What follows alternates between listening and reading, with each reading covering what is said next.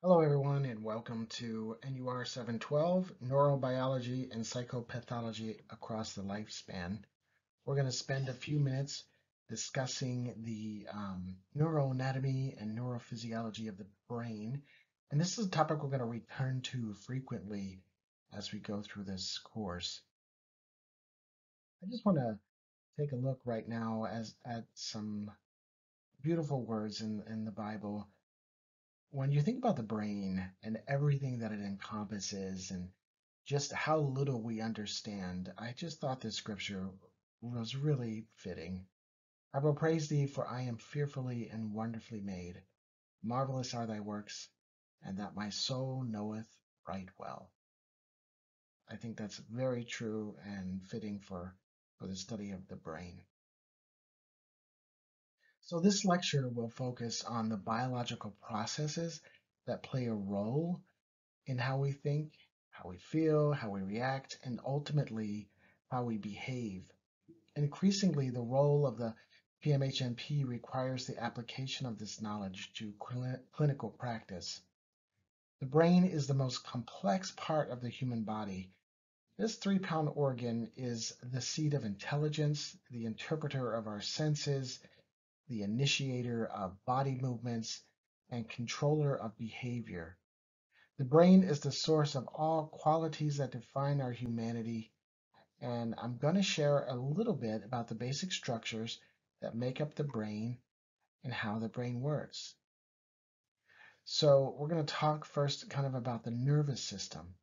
And all human thoughts, feelings, and actions are seated in and start with actions within the nervous system. And as I shared, it's necessary for the PMHNP role to have a understanding of the neuroanatomy and physiology of the brain uh, and neural deficits that underline psychiatric disorders and actions of uh, client responses to psychopharmacological treatment agents um, that that take place as well. The human brain contains approximately 86 billion neurons and approximately 85 billion glial cells.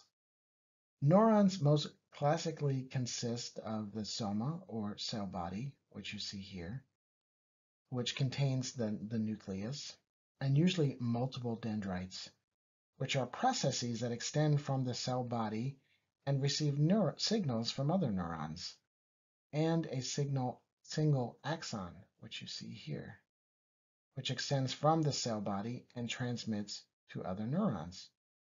Con con connections between neurons are made at axon terminals, where you, where you can see here.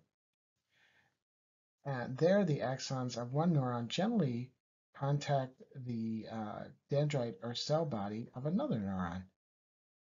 Neurotransmitters rele release uh, occurs with axon, within axon terminals, and is one of the central mechanisms for, for intraneuronal communications, and also for the effects of psychotropic drugs, which you'll learn about mostly in another course.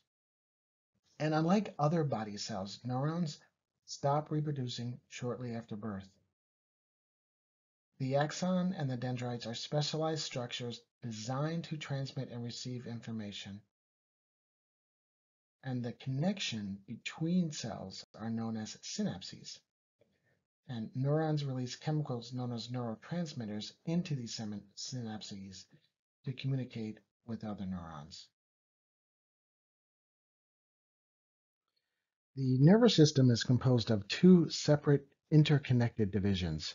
You have the central nervous system, which is composed of the spinal cord and the brain, and then you have the peripheral nervous system, which is composed of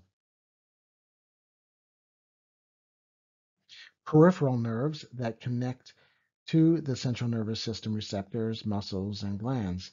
And it includes the cranial nerves just outside of the brainstem.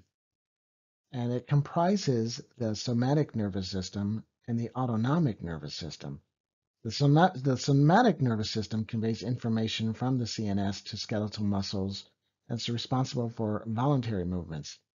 The autonomic nervous system regulates internal body functions to maintain homeostasis, conveys information from the central nervous system to smooth muscle, cardiac muscle, and glands. It's responsible for involuntary movement, divided into the sympathetic nervous system and the parasympathetic nervous system, as you see here. And the sympathetic nervous system, it's the excitatory division.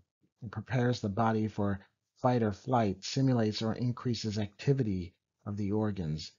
And the parasympathetic nervous system maintains or restores energy and inhibits or decreases activity of organs.